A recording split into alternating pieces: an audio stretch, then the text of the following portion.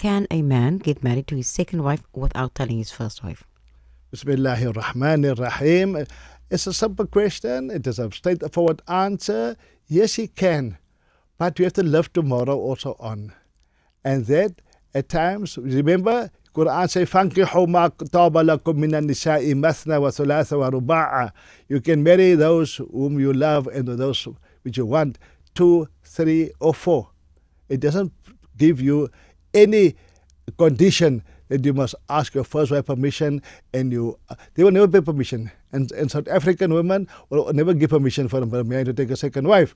But it doesn't mean you have to have her permission. Today a permission is yes tomorrow to change your mind but I didn't mean it. You just asked me and I felt forced to give you an answer.